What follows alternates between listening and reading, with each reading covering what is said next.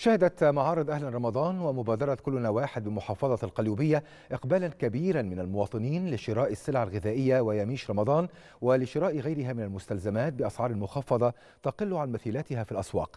يأتي ذلك في إطار مواجهة موجة غلاء الأسعار وتخفيف العبء عن كاهل المواطنين مع قرب حلول شهر رمضان الكريم.